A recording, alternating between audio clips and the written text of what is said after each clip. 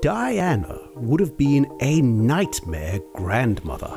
She'd be a nightmare grandmother. Absolute nightmare.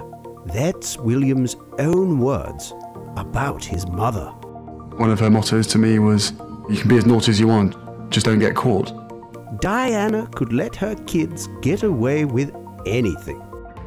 To know what kind of grandmother she would have been, we have to look at the kind of mother she was. She was one of the naughtiest parents. What kind of mother hires supermodels for her children? It was Diana's idea of a hilarious prank to do exactly that for William's birthday. She organised when I came home from school to have Cindy Crawford, Christy Turlington, and Naomi Campbell waiting at the top of the stairs. I was probably 12 or 13 year old boy who had posters of them on his wall. And uh, I went bright red and didn't quite know what to say and sort of fumbled. And I think I pretty much fell down the stairs on the way up. Things like that made her a nightmare mom. Our mother was a total kid through and through. But it also made her the best mom they could wish for. That was a very funny memory that's lived with me forever about her loving and embarrassing and, and sort of, uh, you know, being, being the sort of uh, the joker. It was Diana's loving antics and sense of adventure that would have made her that nightmare grandmother. She'd love the children to bits, but she'd be an absolute nightmare. She'd come, probably at bath time, cause an amazing scene. Bubbles everywhere, bath water all over the place, and then leave. I'm, I'm sure she would uh, be running around causing chaos like I intend to. All I can hear is her laugh in my head.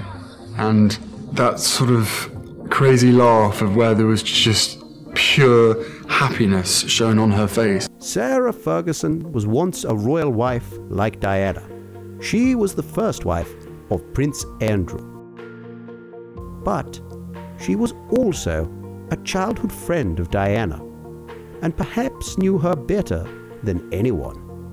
What kind of a grandmother do you think Diana would have been? You were very close with her. Yeah, she she just would have been the naughtiest, funniest, and the bestest ever because just just she loved her boys so much. Not even Charles was amused with her parenting choices. She'd let her kids indulge in sweets. She fed them McDonald's junk food. She took them to normal shops where commoners went. But that did not make her a bad mother. She always understood that there was a real life outside of palace walls. She set us up really well. She gave us the right tools. More than anything, her boys were her first priority. My first priority will continue to be our children, William and Harry, who deserve as much love and care and attention as I am able to give. My mother cherished those moments of, of, of privacy and being able to be that mother rather than the Princess of Wales. Diana's memory lives on through her sons. Not only through her own parenting choices, but also through the many charities they support. Like their mother, Prince Harry and Prince William have used that power to draw attention to their charitable work. I hope that a lot of my um, mother's talents are shown in a lot of the, the work that I do. William and Harry work hard to protect her legacy. And looking at the way they raise their own children, we are sure that her grandkids will do the same. We will do everything we can to make sure that she's never forgotten and, and carry on all of the, the special gifts as such that she had and that she portrayed while she was alive. Diana might have been a nightmare grandmother, but she would have been a proud one. I hope she's looking down, you know, with, with uh, tears in her eyes being...